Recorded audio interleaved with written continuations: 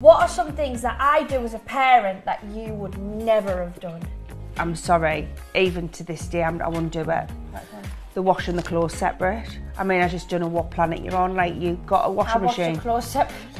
I just like you put all the clothes in together. I don't like you put I your like whites in and you just, separately. Yeah, well- Alba's clothes and my clothes. yeah, that would never ever have happened in our day. Never. Do you even have washing machines or do you not go by the stream and wash them No, no, we had washing machines.